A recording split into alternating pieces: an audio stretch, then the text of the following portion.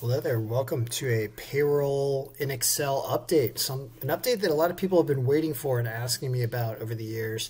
And I, I finally decided to add it into the file. We're going to talk about 1099s. 1099 NECs to be specific now.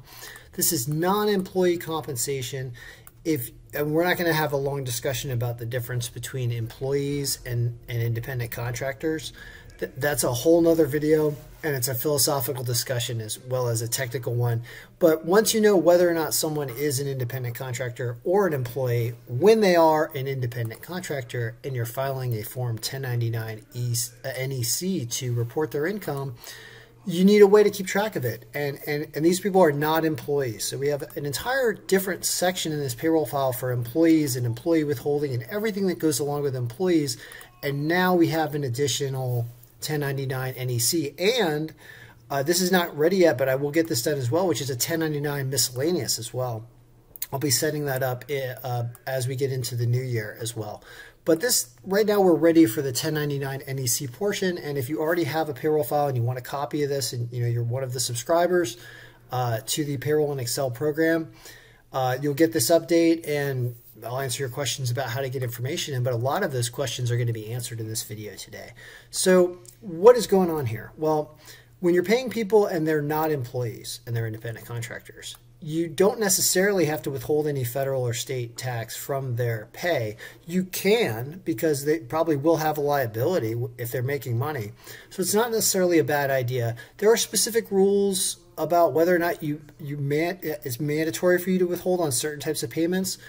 I, am not going to go into all of them because when I'm not aware of all of them, that's a technical question for your accountant. But once you know whether or not you have withheld any federal or state, you have a place to put it.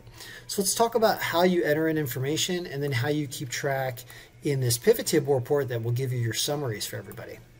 So let's, I've already put sample data in here, but let's pretend that, uh, you know, we're right here on the 20th of December in 2021 and recipient's taxpayer identification number is what that's asking for right there.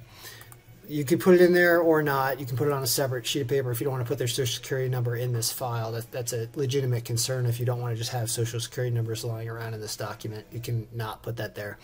Um, but it will be helpful for reference when you're filing your 1099s at the end of the year. Who's the employee? Let's say the employee is me how much did, did, did I get paid? Say, you know, actually, let's say 3000 for people who are watching this video know what the joke about the 3000 is. I, I got paid 3000 for something. Well, uh, was there any tax withheld? No. Let's say no. Was there state tax withheld? No. What state was this person in? Let's say California when this happened, because uh, it's possible.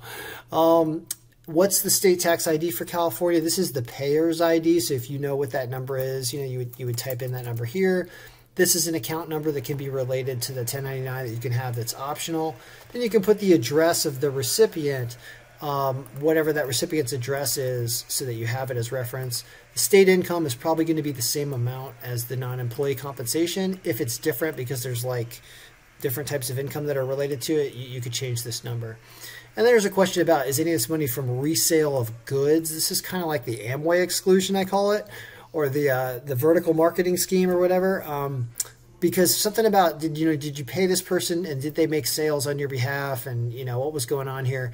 Um, I think that's related to like when you're reselling something and taking a very low profit, you end up I don't know. I'm not, I'm not, even sure. But if that applies to you, that's what that question's about on the end.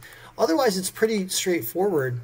And you, you just keep putting in dates that these things happen, or you can put in just one record for the whole year if you know the grand total for one person. But the reason why I'm allowing you to add dates and add records to this is because then all you have to do is go over here to your pivot table and refresh, and you're going to get grand totals for everything. So Elon Musk and Ken Braverman, you can see Elon made a whole lot more money than me this year. this is fake numbers. It doesn't mean anything, but it's funny. Um, he made three hundred and sixty-two million dollars according to this fake numbers that we just did. And this is how much federal was withheld from his pay, and this is how much state was withheld. Now, if you wanted to know which state that was, you, you can choose different states up here, or you can actually move the states by going into the field list. Take the state and put it like on top of the row label.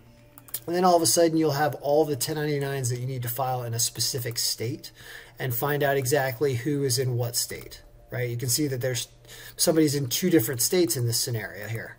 So does that require two, two 1099s? No, it requires two different lines on the state tax line of the 1099, which is right here.